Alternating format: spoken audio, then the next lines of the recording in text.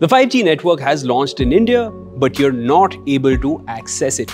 Well, for that, you must find out whether your phone is 5G ready or just 5G compatible because there is a difference. I'm Shivan Chanana. Let's get to the point.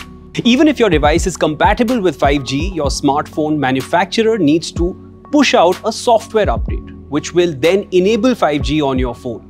Once you update your phone software, your 5G compatible phone will become 5G ready. Now, even if you have updated your phone software, you may need to tweak certain settings in your phone. So go to the settings tab, visit connections or mobile network and select the 5G network mode. This will be different for different devices. If you use an iPhone, specifically iPhone 12 and above, you may finally get to experience 5G services by December as that is when Apple plans to roll out its 5G update on its iOS operating system.